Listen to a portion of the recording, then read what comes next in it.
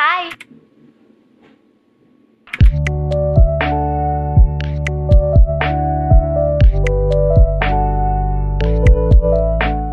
Hey guys, my name's Toby and welcome back to Mid-Range Meek. Now, thank you to all of you who watched my last video and gave some feedback, that was really helpful. Now today we're going to look at an issue that a lot of people have when moving to smaller mechanical keyboard sizes, and that is the fact that they don't have dedicated media keys. Now today I'm going to show you a really easy method that requires no effort once set up, it'll run every time you turn on your computer, that allow you to give access to media keys to any keyboard you want. But what I'm also going to show you is how to change the dollar sign on ANSI layout keyboards as they are the most common in the mechanical keyboard community to whatever currency you like. So if like me you live in a country that is not the US and you want to use your own currency symbol rather than the dollar, I'm going to show you how to change that. So let's get into the video. Okay, so before we start, I just want to thank William Worthy over on the Anne Pro subreddit. He's the one who first uh, pointed me towards the idea of using AutoHotkey as uh, a means of getting media keys on any keyboard, and it's such a simple method that I now use it all of the time. So the first thing you need to do to do this method is to go to AutoHotkey's website.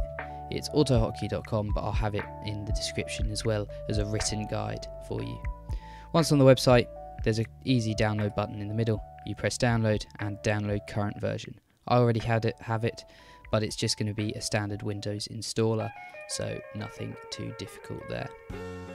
Then what you want to do is you want to go back onto the desktop. You don't need to open the application or anything, you just want to right click and select new.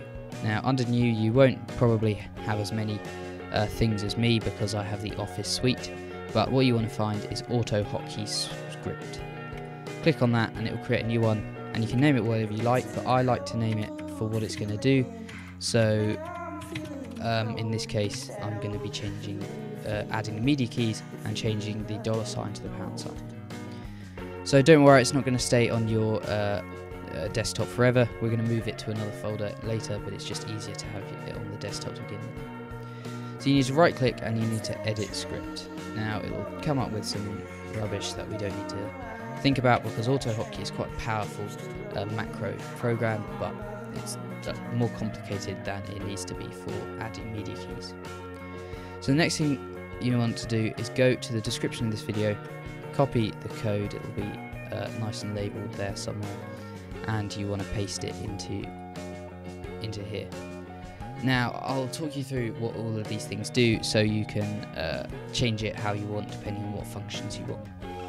So essentially, each line is its own macro command, and uh, this side of the double colon is the uh, what key combination will initiate the macro, and on this side it's the macro itself. So here we have the key combination in AutoHotkey. Again, I'll have the modifiers link below, but the modifiers have their own characters so that it's easy to write out. So for instance, window is hashtag, the Windows key on your keyboard. Then in, in this case, I have Windows comma set up to do the previous uh, media key. Now, if you look down the keyboard, the reason why I have those two set up is because the greater and less than signs mean they look like arrows, so they look like the previous and next symbols normally. I then have the slash for play and pause, and then uh, Windows M for uh, mute. Now you can also have volume up and down and I'll leave those linked in the description but I don't tend to use them because I've got an external audio interface so I'm just going to remove those. And that's all you have to do. If you want to remove one you can just take it and remove the line and it will no longer be there. But uh, I do want to keep it so I'm going to keep that there. And then finally, we've got below, I did talk about changing your dollar sign because ANSI keyboards are probably the most popular in the mechanical keyboard community, and it can be kind of annoying if you live somewhere like me. I live in the UK and you want to use the pound sign all the time, but there's only the dollar on the keyboard. Um, so it works in the same way. Here is your keyboard shortcut, and on standard keyboards, Shift 4 will get you the dollar sign and then you've got the output. Now, media keys don't have their own character, so you do have to uh, write out this sort of weird bit of code. But for pound signs, euro signs, at any currency symbol, they do have their own character. but of course you can't type it. So the best way to get it is to search. So say I was looking for the euro, I can search for the euro, look on the website, uh, the Google page that comes up, and you bet you can find it anywhere. You just have to copy it and paste it. But I want the pound sign, so I'm going to leave it like that. So next, just save it, Control S, and close it, and you effectively have completed it now. You can double click it.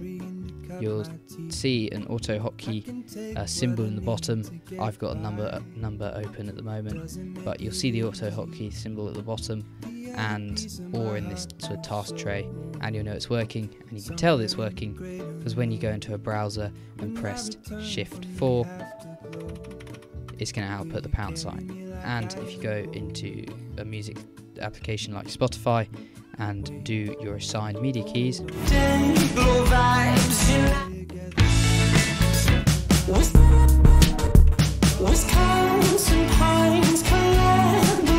see play, pause, uh, forward, and backwards all work.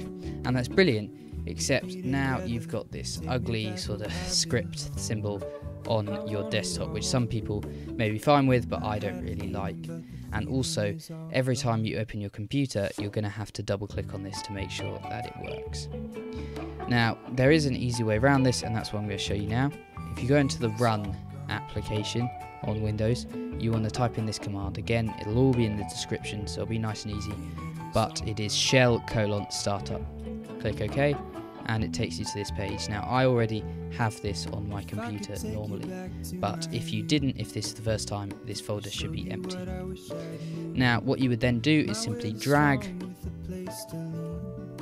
the uh, script from the desktop into the startup folder. You can access this through File Explorer, but you need to do some funky things with uh, view hidden files and things. So it's easier to just use run.